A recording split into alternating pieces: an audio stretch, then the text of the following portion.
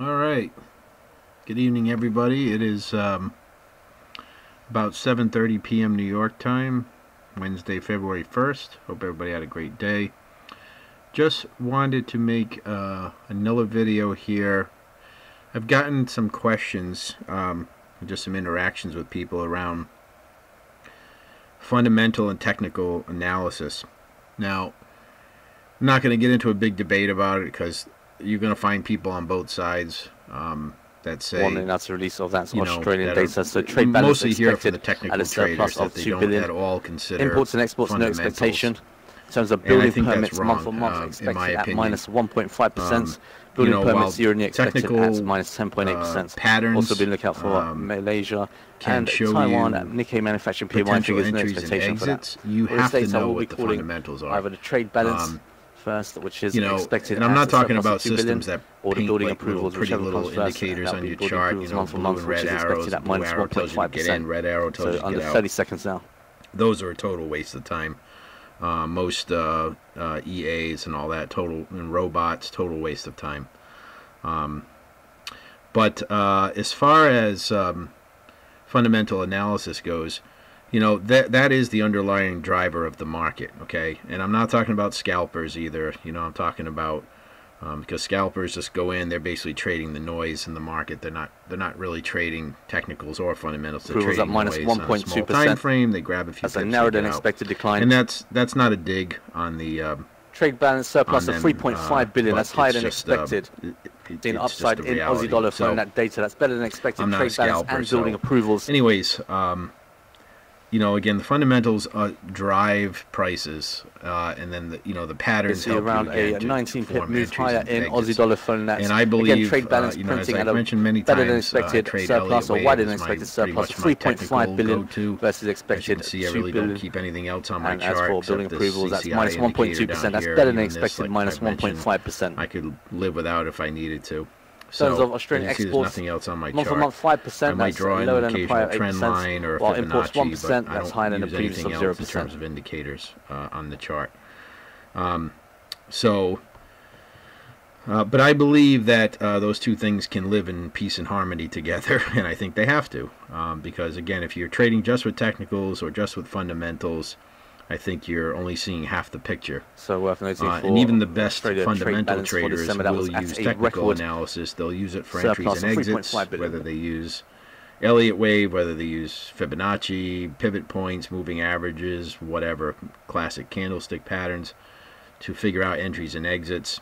They, they still do it. So even a, a pure fundamental trader still uses technical analysis. And I believe uh, somebody that considers themselves a pure technical trader should also at least have a clue about what the underlying technical uh, fundamentals are, both from a sentiment, which is you know kind of the mood of the market, the short term, uh, you know, which might be just one day or a few days, and the uh, the long term view of the market uh, of a particular currency. Um, you know, what's the central bank position? Are they bullish, bearish? Neutral you know i mean you don't have to know everything but just have a basic clue about how that particular currency's short and long term sentiment is. And that will help you determine sometimes um, uh, to help validate uh, patterns uh, it, it helps with entries and exits it helps considering you know whether you should trade into an event a news event or wait until it happens and then trade out of it. Um, and all that kind of stuff. So again, I, I do believe they can exist and should exist together, and uh, using one without the other, in my opinion, is uh, driving half blind. So, and again, uh, you know, some people very, feel very passionately about that, um, but I think it's absolutely critical to do both. So I want to give you an example quickly, and then just show you a couple of uh, sources for fundamental uh, news that you can use if it's something that you're at least interested in following a little bit. And it does take a little practice. Um, you know, it's really easy for the marketers just just to sell technical programs and indicators, and and uh, but in, in the end, um, those things really don't work. So uh, long term. So so um, the, here's the Kiwi dollar, and this red line represents uh, the time when the Kiwi employment of news came out yesterday. Manufacturing Now, PMI for January um, prints the Kiwi 55.6 itself versus the price is uh, on a 56.2. long term Malaysia is, manufacturing um, PMI at 48.6 is- versus is actually in a slightly bullish stance now. It was bearish for a long time, but the, you know, versus their their economic and fundamental picture has been improving. So I would say long term, the Kiwi is kind of neutral to slightly bullish, but this is a sentiment move because this news came out and um, they were expecting this to be positive across the board. I believe there were three pieces of information that came out of this release. They were all expected to be positive or at least meet the expectations and I believe two out of the three of them came out negative. Go back and look. This was yesterday. Where are we here?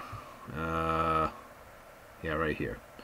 So the employment change came out as expected, but the unemployment rate uh, ticked up, and those were the main two things the market concentrated on. Um, especially this un- this unemployment rate went up, and uh, they were expecting a drop. I believe there was a third metric that was uh, probably a low profile, so Forex Factory didn't pick it up. But the bottom line is um, it came out negative. And so even though we had a bullish stance, uh, uh, or slightly bullish stance to neutral long term, um, this was a sentiment trade. It came out negative, and we saw this go down. Okay. Uh, from a higher standpoint, you can see the Kiwi has been supported. This has been really the turn in the Kiwi over the last. Here's the daily chart. This goes back to December. Um, if you go back even further on the weekly chart, you can see we, we've been moving up after going down for quite a while. We've been moving up since really since about May or June of 2015. So again, you know, the Kiwi has been supported. Um, this trend going up here had all these waves, um, which again, from an Elliott standpoint, no need to really count the waves. So when the news came out, um, from an Elliott standpoint, it, it's kind of suggested that maybe this would at least take a pause, which it did. But again, this was more of a of a little bit of a technical, but also a sentiment trade. Uh, technically, uh, from an Elliott wave standpoint, it was ready for a correction. From a from a sentiment standpoint, the news was negative and it went down. Okay, so that was last night. So then you fast forward into early this morning in the London session. We're going to go over to the pound kiwi. Now the pound has been up pretty much all week. Now the pound longer term, this still has a lot of question because from a tech, from a from a fundamental standpoint, there's still a lot of uncertainty around Brexit. Okay, and what's going to happen if how and when Brexit will be implemented. Um, if you've been following that at all, you'll know there's been a lot of um, there's been a lot of uh, back and forth in the courts uh, in Europe on this. But uh, the pound has been supported the last few days. The sentiment has been pretty strong this week. We had, whoops, we had some. Uh, so then early this morning uh, during the London session, we had manufacturing um, uh, PMI come out on the pound as expected. We had some other positive pound news earlier in the week, and we've just had some just some overall underpinnings for the pound being positive. Um, and so it's it's kind of a so this is more of a, uh, a a sentiment play. So what happened was so now you've got a negative kiwi coming off the night session and a positive pound, okay, as indicated by this up move. So you combine that and say, well, let's go trade the pound kiwi. And so this represents the London Open right here, this candle. It's when the London opened. And you can see the, the pound kiwi rallied uh, 100 and almost 200 pips on the day. Okay, and that's a that's about what it does. This is a pretty pip rich um, pair, and it went up almost 200 pips on the day. So so there's you know something combining both sentiment and um, and um, you know sentiment, fundamentals, and technical. Um, so this was a good pullback here overnight. You know this pullback, so you know buyers uh, got in, you know, on this pullback and, and sent it up. You could also say that this was a five-wave Elliott pattern here too. If you, if I wanted to say, you know, where's the technical part of this trade, you know, I could probably say something like this.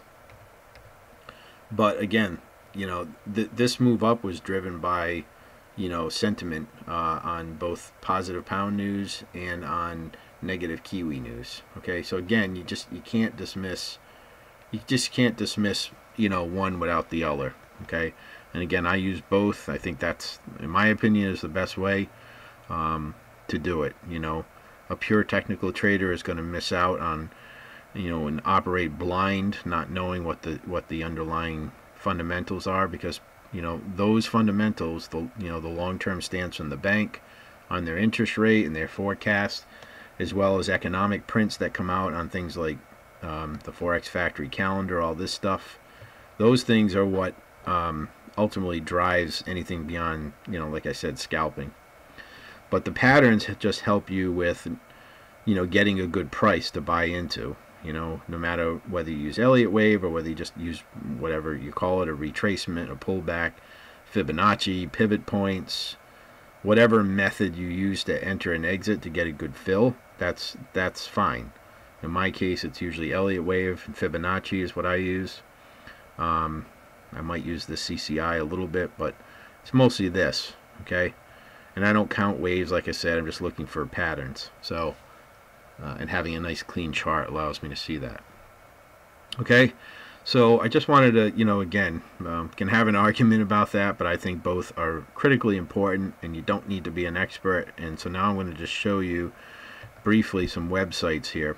So there's a few things here. So uh, most of these are free. And so I would highly recommend if you want to at least follow along to do that. Um, so this is financialjuice.com. This is a free site. You have to register to get the news feed, which I did. Uh, but once you do that, you'll see this news feed come up and you can go into your profile. You go into news settings and you um, basically select the type of stuff you want to see in your news feed. Now, as you can see, I'm concentrating mostly on Forex. I have some other stuff checked off, but you know, the more you put in here, the more you're going to um, the more you're going to um, have stuff show up in your news feed you may not care about. Okay, so as you can see, and what this site is, it's an aggregator. They basically collect stories from other sites and aggregate it here. And some of these other sites I follow also individually, so it's great. But I, uh, um, but you know, this is FX Street. This is Forex Live. I can just tell by the icons. Um, this is Live Squawk, and there's a whole bunch of them. You'll see. Um, you see, it's you know, it's a lot of those because you know I follow mostly. This is Reuters. Um, Bloomberg will be on here once in a while. Daily FX is another one. Um, and so this is an aggregator site, and it's free. They do have a squawk, um, but the squawk is a little delayed, so I don't really use their squawk. Uh, a squawk is basically when there's a news headline that comes out, you'll hear it. They'll announce it first so that it just, you know, that gets out to the market right away for people that are, you know, trading news, um, you know, that they can, they have that voice squawk. Uh, but this one I think has a little delay to it, so it's um, it's not one that, that I use. I'll show you another one that I do use. Um, so yeah, so this is Financial Juice. And uh, when they have something breaking, they'll you'll hear if you have your speaker on, you'll get a little siren noise. Sounds like an ambulance siren. And then across the top here, they'll have a big red banner with the news release. If it's an economic release, a big one, it'll post up here for a few minutes, and then they'll drop it into this feed, and it'll be highlighted red for you know. And this is a feed, so these all just keep dropping down as new ones are posted. And you can scroll down and see the older stuff if you want, and uh, you know, you can go back and, and find some older stuff. So, so that's Financial Juice. Then, you know, one of these is FX Street. I actually keep FX Street open individually. The reason why is with something like FX Street and Forex Live, um, it, they're all on here, but sometimes, you know, if you're not paying attention and the stuff's constantly reloading, you might miss something. So sometimes I'll just keep it individually up here. Um, uh, where's Forex Live? So this Forex Live I really like. This is Forex Live. This is a blog site. Again, it's all it's all Forex. It's all free. Um, they do other stuff on here. Economic calendar. I don't use any of that. Technical analysis. I don't use any of that.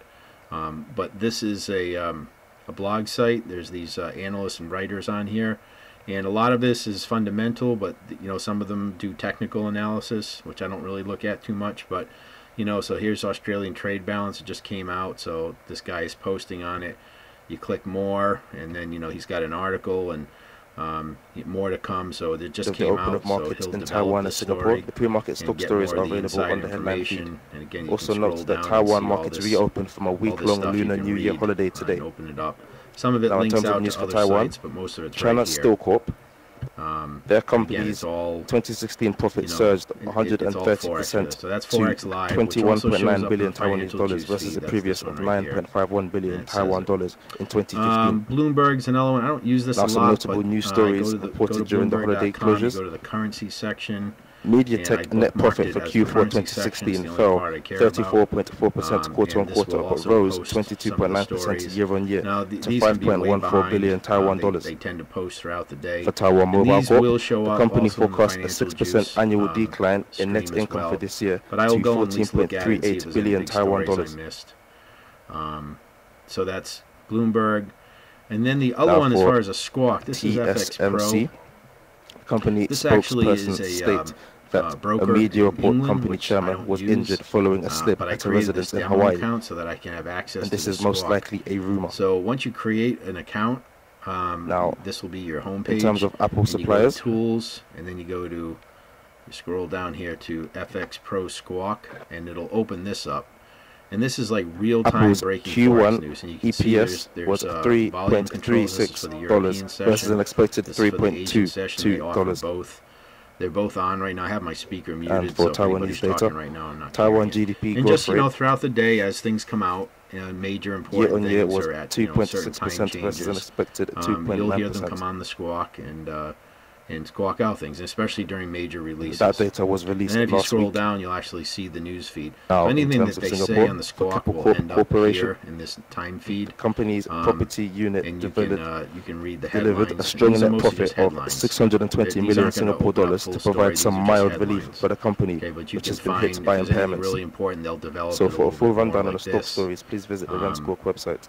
Uh, but uh, it, I use this mostly for the squawk, and I scroll through the headlines. And a lot of this stuff will end up on sites like Financial Juice and, and Forex Live and all that too. Um, so this is FX Pro.